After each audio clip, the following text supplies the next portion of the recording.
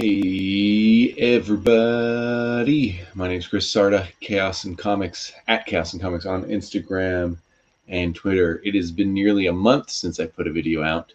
Um, I've been on Bruce and Stephanie's channel, winning nonstop at trivia until I lost. I did expect to lose sooner, um, but really only one person really was able to do it. So uh, anyway, I ended up losing at the end and uh, and I think that's probably why I haven't put in any videos. So this is a quick lightning review.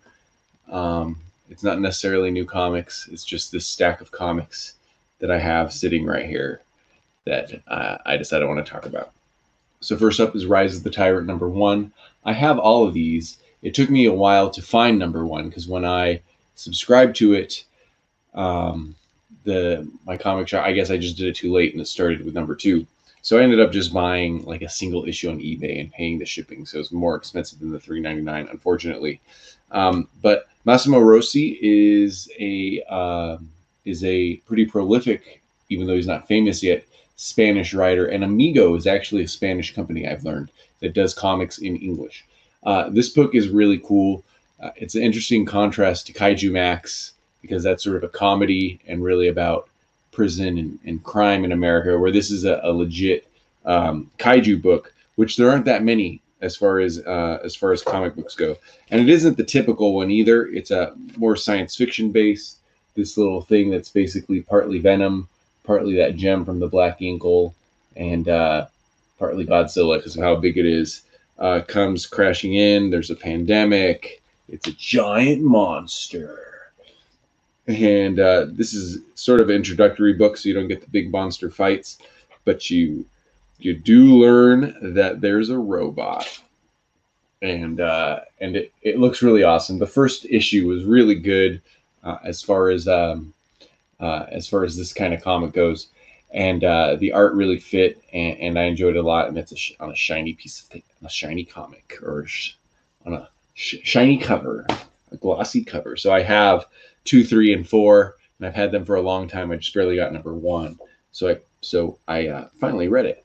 So Cyblade Shi, uh, I bought these on eBay. This is the variant cover. I bought the regular one. Uh, I've owned the first appearance of Witchblade in the past. Hey, there's Witchblade. How are you doing, Witchblade? Um, but uh, uh, I didn't anymore, and I have Shi Cyblade, which is part two of this two issue series, and I haven't read that. But I did read this. Witchblade shows up. Um, sort of corny, but the book is fun. I actually like the Cyblade Shi book. I guess that's pulp for me. I guess it's really where my childhood was.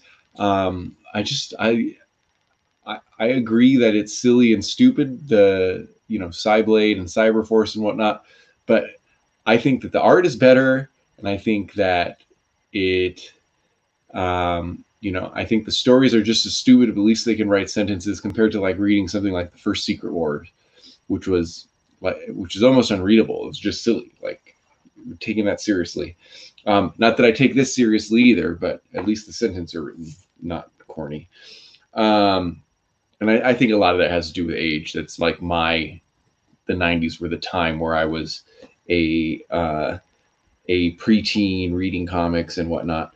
Um, no One's Rose by Vault Comics. This is uh, by normally I'm used to seeing um, Zac Thompson and uh, I forgot the first name, Nadler. This is uh, Zac Thompson and Emily Horn, drawn by Alberto Albuquerque. The art in here is beautiful.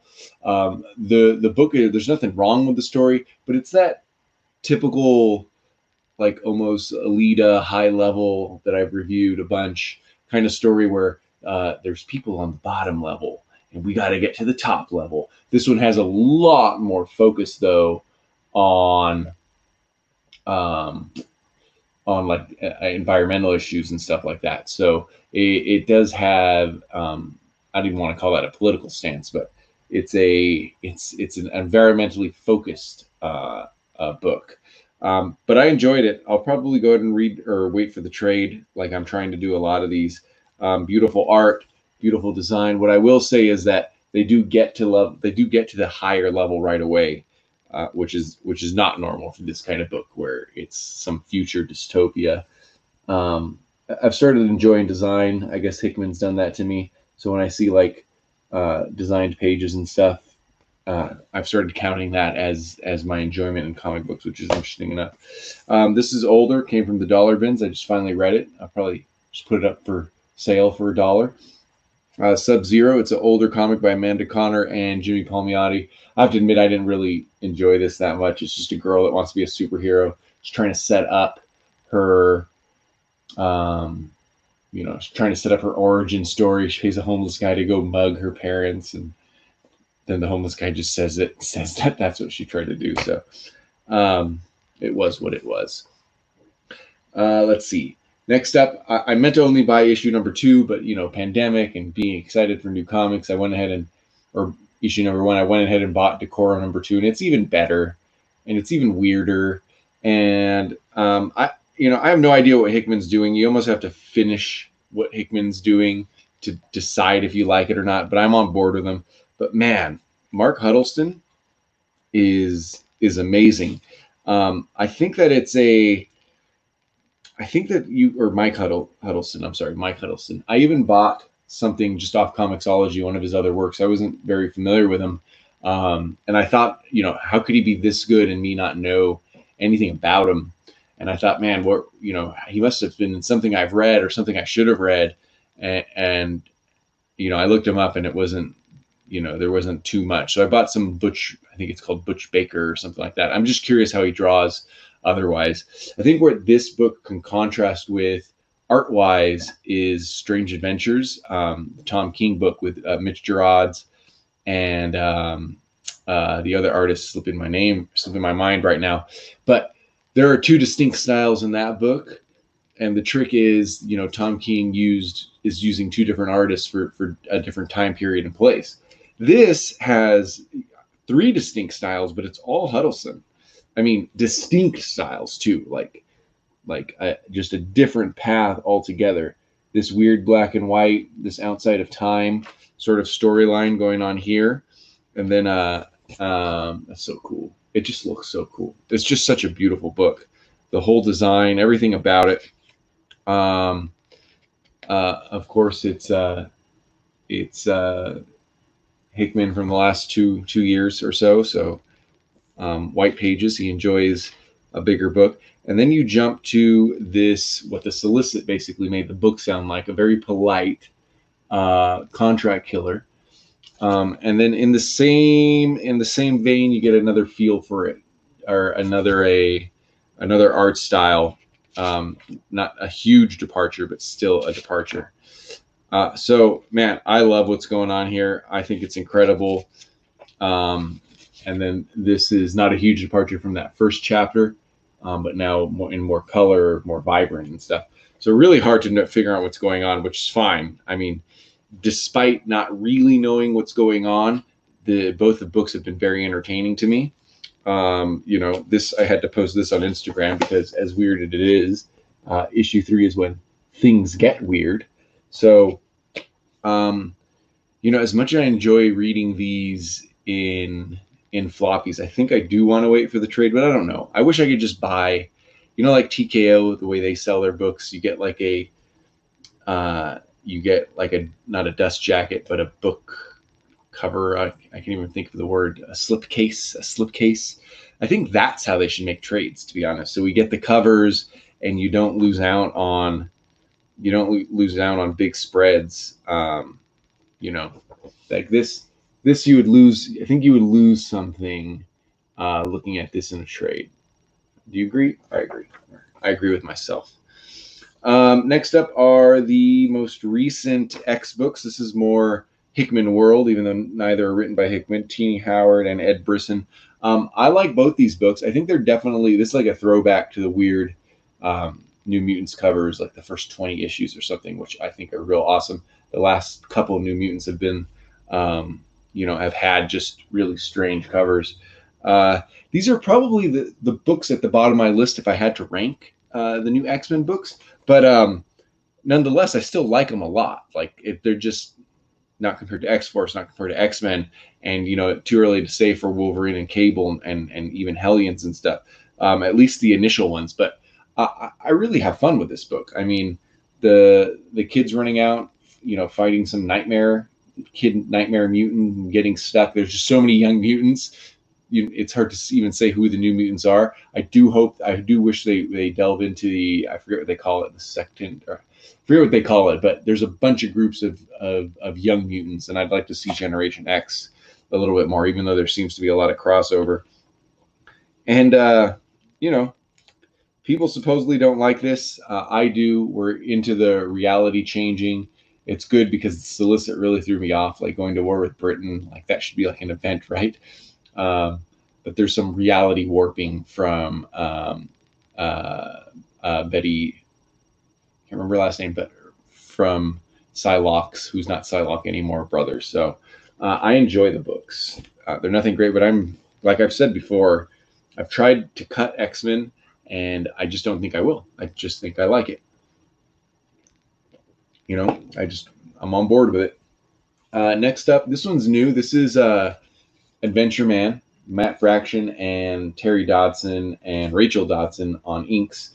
Um, the book is beautiful. It's some of the best art I've seen uh, the Dodsons do together, and um, I I think that's really important to say for me because I you know the Terry Dodson and Rachel Dodson, I'd always been on like, oh, I like them, but you know, I, I think it's just not for me. You know, and uh, you know, I guess Fantastic Four and X Men is a example of that. Like, it's actually nice looking. It's there's nothing. I, I'll just open to something random, you know, but it somehow felt a little bit cartoony, and it, you know, maybe not as finished. Um, maybe maybe like oh there could have been more detail or, or something even though there's plenty looks like a lot of color and detail there to me um uh, this camera is really bright gotta figure out what's going on there or my lighting. Uh, what's interesting at the end of adventure man and matt fraction's note um, i guess they worked together in x-men more than a decade ago and um, you know he mentions fraction men- mentions how terrible it is to be on that corporate deadline. You got to churn it out churn it out. So it turns out Terry Dodson can only draw so much. When he has time, I mean, this is, and I don't, I don't claim to know Terry Dodson very well or the Dodsons in general, um, but this is to me is peak Terry Dodson. This book is really beautiful. Um, the colors too, very like washed down. You know, it's supposed to have a, that pulp feeling. Um, it's another one of those books where it's two halves. You know, the first half is very diff- different than the second half, and who who knows where it goes.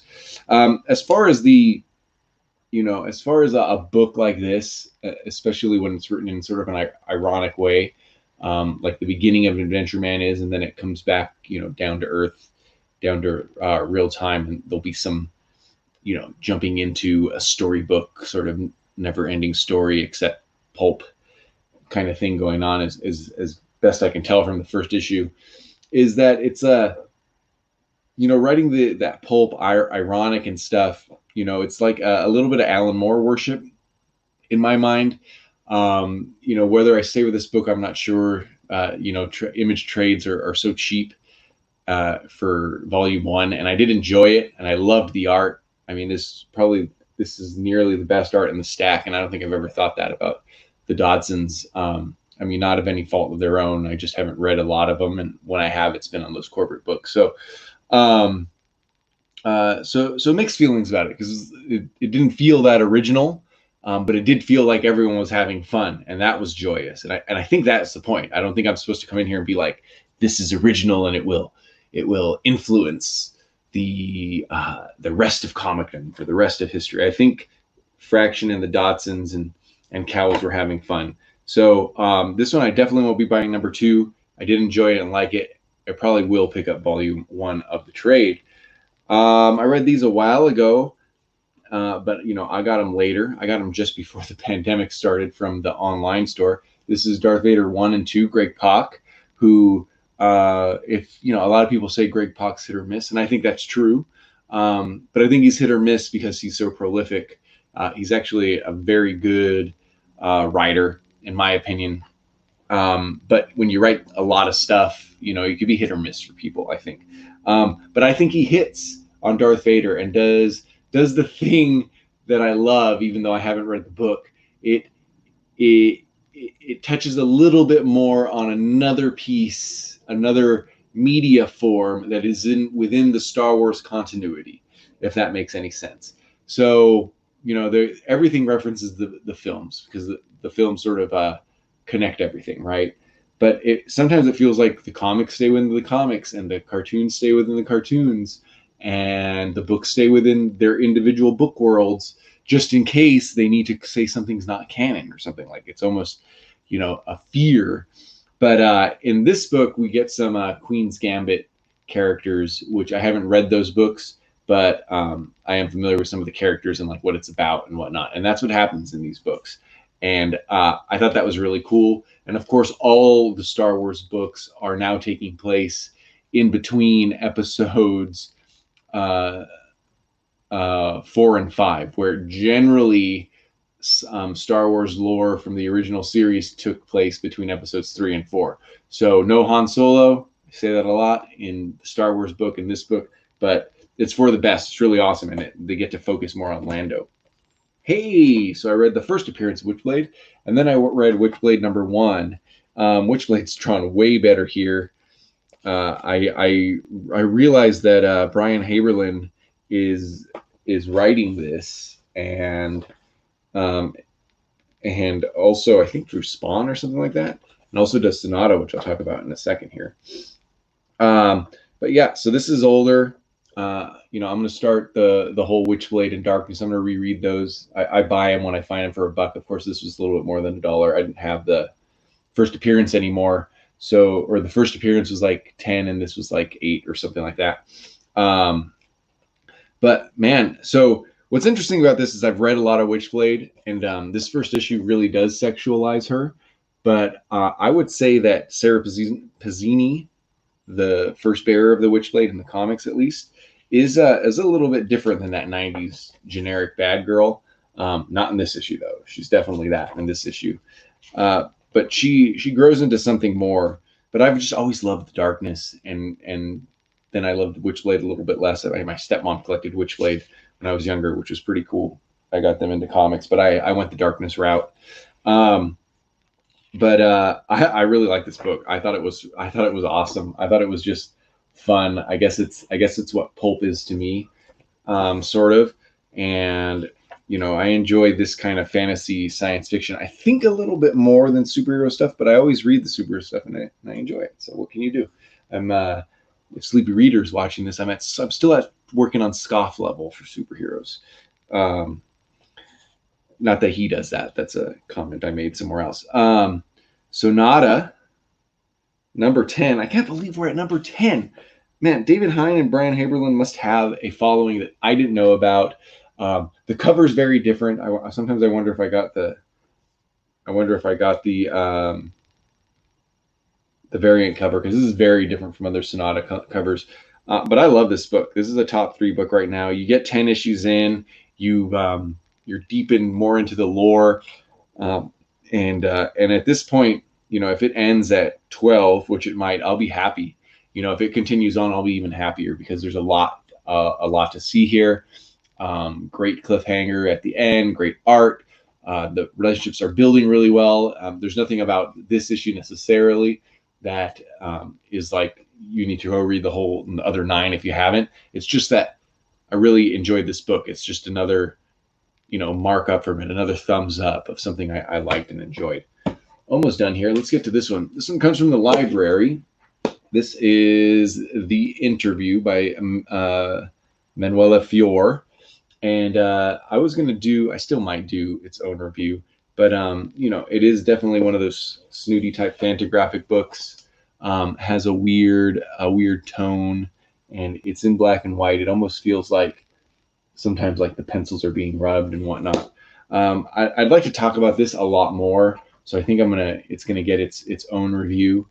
Um, not necessarily that's better than any of this stack, but uh, you know, we're trying to we're trying to you know we're trying to keep this channel the C-SPAN of the comic community and just uh, three more books, two more stories. Dark Agnes one and two. So she was in um, the Serpent Crown, Conan Serpent Crown, along with Moon Knight and another uh, Robert E. Howard character.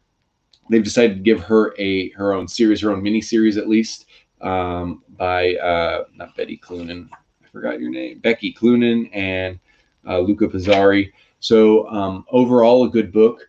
I think mostly what I like about it is the the uh, the French setting. So sort of like feels like Napoleonic times, but I actually don't know. I think it might be earlier than that. It's it is much earlier than Napoleonic times.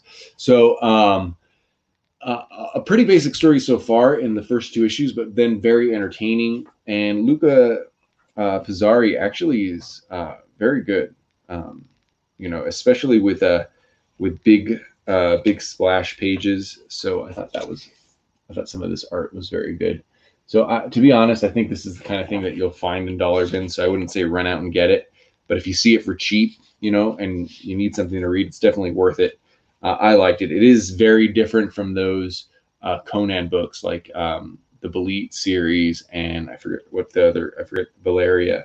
So it's very different from that. So just because it's a girl doesn't mean it's going to look anything like that. Uh, is really good with these. This is like some kind of um, drug-induced dream. So he's uh, really good with those pages there. And um, yeah, story solid. At this point in these two issues, it just feels like you know they're for hire, sort of um, not assassins, but you know, I don't know. You don't know because I didn't explain it very well. And hey, this is a book I was only going to buy issue number one and then go to the trade. And now, now I bought a full arc. So I won't buy issue number seven. I'm going to try really hard not to buy issue number seven. But um, I really do. I really do love this book. Um, Camuncoli's art, uh, you know, it's it's good. It fits the story. Uh, you know, I, for me, sometimes he's hit or miss, and not because he's not a good artist, just because um, you know sometimes I think about the way uh, some of these, the way like some other artists might might draw this stuff. Um, but you, but from uh, you know Soule and Snyder, the you know the concept and and probably like the written design. It's hard to explain, right? Because I think that they probably had an idea of how some of these characters should look, and Camuncoli, um, you know, came up with designs. If I had to guess, the way it worked. But um, the book is great, and I think that the and even though the the story is you know a lot more easier to follow than you know Hickman's last two indie books, uh, I'm talking about East of West, and then of course Decorum. Um, I, it still feels like we've just scratched the surface. Now that you sort of understand that they're going to walk the spiral and that there's different levels of the spiral and whatnot, um, you know, you you realize that they you could be taken anywhere on this sort of pseudo fantasy, pseudo science fiction um, story that they're taking us along on. So the you know just scratching the surface. That's how it feels. Uh, I, I do hope that it continues on. But if they're already writing scripts for TV show and whatnot, then it looks like it is. Anyway, that is my stack. Um, I actually have another stack. I could do another stack right now if I wanted, but I'm not going to. Anyway, guys, thank you for watching. My name is uh, Chris. You can find me again at Instagram or at and Comics on Instagram and Twitter. Thank you guys for hanging out. Uh, let me know what you think down there in the comments. See you guys later.